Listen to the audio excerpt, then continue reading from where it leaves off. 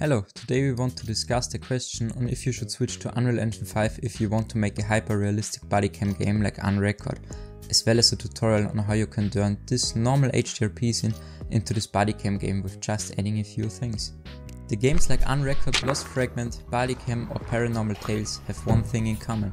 They are all made with the Unreal Engine 5 and maybe you think if you want to make such a hyper-realistic bodycam game you need to switch engines. But do you really need UE5 or could you also make this type of games using Unity? I've used both engines for quite a while but I'm way more experienced in Unity. Most people say that you can achieve better graphics using UE5, but is that really true? Out of the box, yes.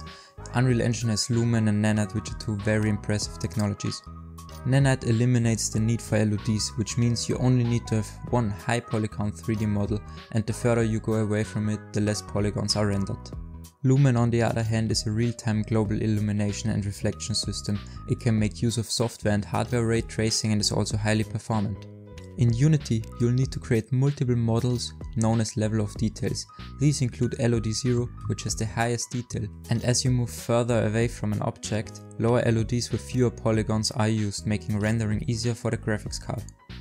Lumen can also be replaced in Unity.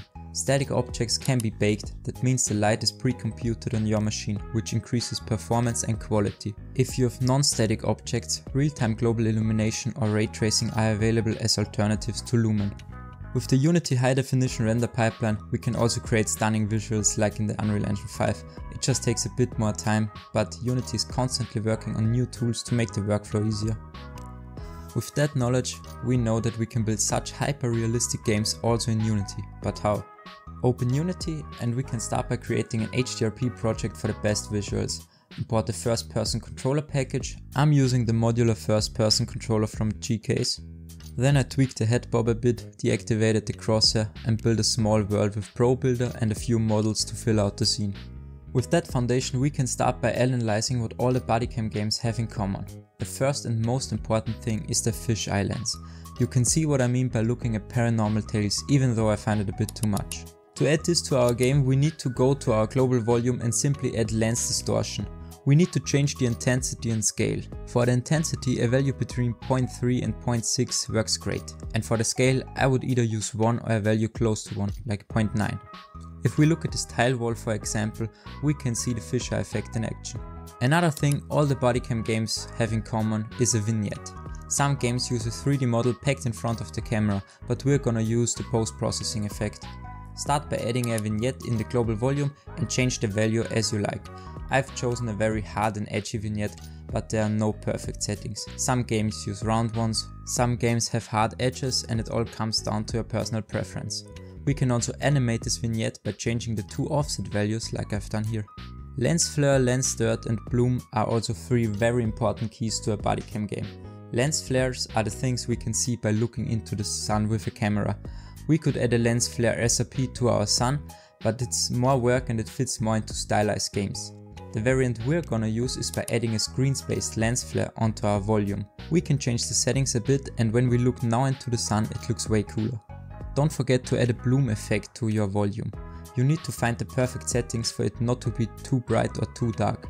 Then go to the package manager and download the lens dirt samples from the HDRP package.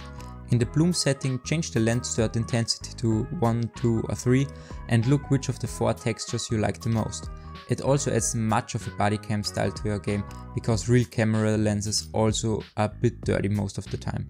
Also you can add a depth of field to blur out things close to you, like a gun for example in this bodycam trailer.